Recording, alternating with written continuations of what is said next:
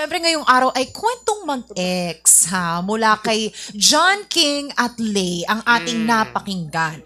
At dahil nga sa unwritten rule na naghihinder ha sa kanilang relationship na baka makaapekto sa kanilang work at laging, wala, eh, sound check one, oh, at laging pag-compare ni John King si Lay sa kanyang ex ang naging reason ng kanilang hiwalayan. Ah. First of all, Anong say nyo dun? first of all, medyo may konting inis ako kay King. Hindi na niya talaga finilter. Kanina pa. oh. Kanina pa siya gigil. Gigil oh, na bakit gigil nga na ba? kay- Parang ano, parang it's a triple tie. Pati yung mga nanonood. Correct. Oo, sa chat, ang dami ding ano, may mga nababasa pa ako dun, ano, um, parang, wow, taray, gwapo. Wala naman kasi yun sa itsura, guys. Ang point ko is yung, di ba, parang wag ka maging proud sa maling ginagawa mo. Parang ang sisti kasi, ikinaka-proud mo pa. Parang ang taas ng ego naman niya masyado. Mali na nga yung ginawa mo, proud ka pa. Mm-mm. Ilan naman sa akin. Pero Tama. mali, number one, yun yung unang point ah, na kino-compare sa ex. Yes. Yun yung parang unang red flag na nakita namin. Wow, alam mo mga judge talaga sa The Voice dito. Uy, pero kasi totoo. Mali. Masakit yun para sa present. Diba Actually, yung makumpara. Di ba yung mga bata nga kapag nako-compare, Totoo. At nagagalit saka sila tayong sa mga, anak magulang. minsan, di ba, pagka may favoritism o na ikukumpara ka sa ganitong, sa panganay o sa bunso, syempre masakit talaga yun. Lalo na di sa ba? partner mo, Totoo. Tapos hindi lang yun yung naging red flag ng ghost pa siya. ng ghost pa Ah. siya. Parang ang dami natambak na si ate girl ng mga Oo. mga red flags na act, 'di ba, from John King. Oo. So, ayun. Actually ha, sa five months na yun, ang dami Ang daming ah. nangyari. Ang Ang daming dami. naganap. Oo. Although hindi naman na hindi ko naman personally kilala si John King and hindi ko alam yung buong pagkatao niya pero sa loob ng limang li- limang buwan na Limang pagsasama buwan, nila parang mas naging thankful ako na naghiwalay sila. Oo. Parang- Parang babaw. Diba? Ang babaw pa ng five months. Actually, hindi pa Actually. ganun na, though hindi naman natin ini-invalidate yung mga couple naman, na oo. na maaga pa lang yung relasyon nila. I mean, bago pa lang yung relasyon nila, pero na, na makikita mo na malalim na yung foundation. Dito kasi parang na-feel natin, hindi pa ganun. Oo. Mararamdaman mo kasi kapag- feel lang natin. Pagka honeymoon phase ng isang relationship, dapat happy lang lahat. Yes. Walang ano, f- ano, breath of fresh air. 'di ba? Correct. Walang mal... Eh, pero ito parang ang. Si parang ang dami na... may, may sabit. pero oo, parang five months pa lang, ang dami na agad. Ang dami na. True. Anyway, kakatuwa. Oo. May tanong ako Tapos, sa oh, Ay, sorry. Pero may isa pang parang pinakaunang point nun ay yung posting. yeah. May may to say na that. ano, parang for me ha, ano, maganda yung private but not a secret. Yes, magkaiba kasi totally yun. Magkaiba. For yun. example, AC, paano yun? Um, pagka sa close friends mo, pinupost mo siya, okay kayo, sa family mo, pero hindi para i- ikalat pa sa buong madlang people na, ah, ito yung jowa ko. True. Diba? Kasi marami nang, mang, dyan na papasok yung marami mga Judgmental na person, Oo. 'di ba? At saka iba 'yon. Iba yung sa sikreto ka na kayo lang dalawa nakakaalam na in a relationship kayo. Yes.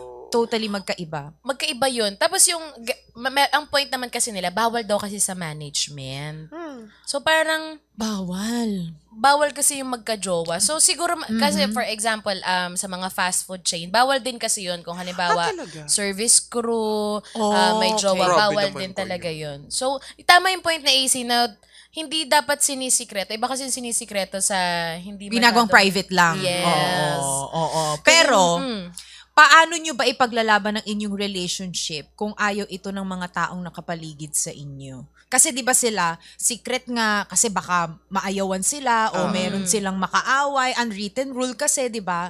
So paano nyo ipaglalaban yung ganung ano, Hmm. klase ng relationship kung lahat ng tao sa paligid nyo kontra?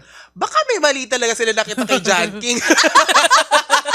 sa kanya lang, bakit? Kasi, pero it's it also helps na makikita mo yung POV ng iba. Pag Yeah, sa, pagdating yeah. sa ganyan. Baka may Actually. tama nga naman sila. Oo. Oh, again, ano lang, mag, ano lang muna tayo. Ito yung mga opinion lang po namin, Oo. ha? Yes. So, magkakaiba tayo ng opinion. It doesn't affect the opinions of the show, the management, And the, the prod, and the network. It's Oo. just us. Oh, yes. Yes. Lahat naman tayo may kanya-kanya tayong opinion talaga. Oh. kanina nagbabasa tayo ng comments, Oh, di diba? ba? May Oo. opinion din sila. Gigil na gigil majority kay John King. Parang Ikalma nyo, tao Binoise yun. out ko yung mga gigil ng mga madlang onliners natin, ah. Oo. Pero, Uy, mm, eto, na, nabanggit nyo, na, naitanong nyo sa akin, Aha. malaking bagay ba yung impact ng ipopost kayo ng jowa ninyo sa social media?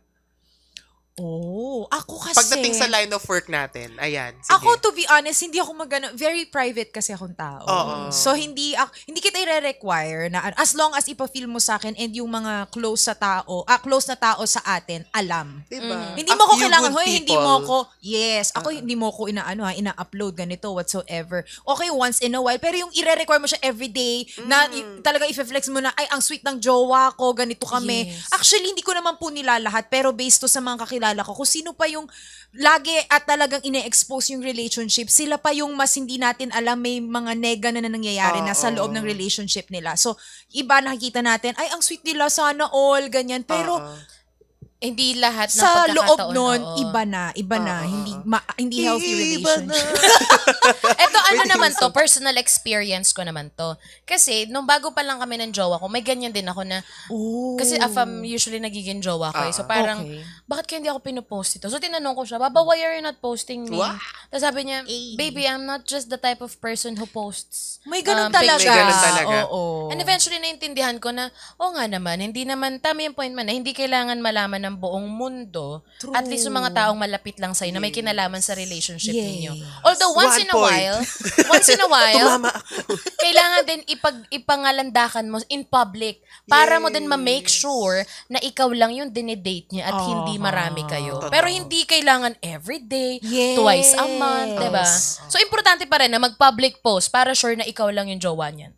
Ayan. Which is nagawa na ako lang naman so far. Wow. Oo. Ay, talaga naman. Pero ito ha, kasama ngayon ni Lay, ang Kurt Jowa niya, napanood natin ha sa Showtime. Kaya kung kayo, ano ang mafe-feel nyo naman kapag magkaibigan pa din ha, ang jowa mo at ang ex niya? Ay, sa akin, ay, hindi pwede sa akin. It's a no. Selosa ako eh. Oh. Ika, eh, siguro dahil iba-iba tayo, pero hindi naman yun sa pagiging, sasabihin ni ba, ay, ang immature mo, Nikki. Hindi ako immature, masakit lang sa akin. As an only child, hindi ko kayang nakikipag-share ako sa iba. Ay, you're Oh my selfish. gosh. natin sa ano, sa sa sa itsura ng nandito tayo sa showtime. Sige, tapos um kayong dalawa. Tapos may feedback. Oo, bakit nanilalang feedback? Ikaw nanonood ka dun sa audience, tapos yung jowa Nandoon, no? yung ex niya. I think ano, parang hindi ko carry, no? Yung feedback, hindi ko rin kaya. Ayan, okay na. Nabother Parang hindi ko carry Hindi mo din carry talaga. yun. At saka yung is- iisipin mo pa lang na, ay, yung, yung jowa ko, friends pa rin, pa rin sila ng ex ko. Ano pinag-uusapan nila? Totoo. Siyempre, nagpa-flashback ba sila together? Nagre-reminisce ba sila Siyempre may together? mga nangyari sa kanila na sila lang nakakaalam nun. May, True. may tension pa din yan. Di ko alam kung pa- pero like, Totoo yan. may tension pa din Of eh. course, of course. Diba? Lalo na kung sobrang fresh, hindi pa ganun katagal yung paghihiwalay ninyo. Yeah. Basta parang, I think kapag ex na, hindi naman sa galit ka talaga. Kasi iba-iba naman, hindi naman lahat galit eh pag Oo. naghiwalay. Pero, parang hindi talaga magiging friends. For me lang to ha, parang hindi talaga magiging friends. Kung magiging friends kayo, it's either may gusto ka pa sa kanya, meron pa kayong mga baggages na hindi pa talaga nako-close. Or siya pa yung may gusto sa'yo, may konting ano. Yun.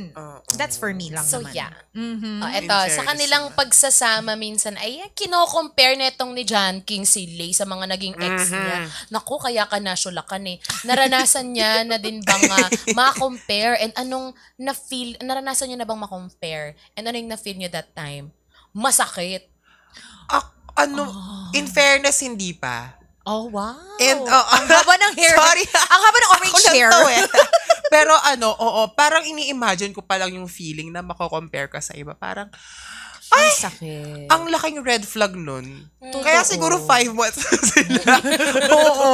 Yun pala lang, parang Yes. no, no, no, no, no, na medyo wrong talaga yun. Oh, kayo Very wrong. Ako never ko pa naman yun na experience. Pero ibang, para kasing pag kinumpara mo ang isang tao sa, kahit pa hindi kayo magjowa, parang respeto na lang. Oo. 'Di ba? Kasi may kanya-kanya tayong strength, may kanya-kanya tayong weakness. Hindi mo pwedeng gamitin yung weakness niya na mas nakakalamang siya sa isang tao. Lalo na sa relationship. Oo. Correct. Diba? Ano ka, food vlogger? Kukumpare mo. Oo. Ay, Pero nako. ayan, for more usapang breakups and love stories, makihangout na with us dito sa Soyu. And don't forget to follow and subscribe to our fi- official social media pages na at It's Showtime na dahil we share this especially Especially for for you. I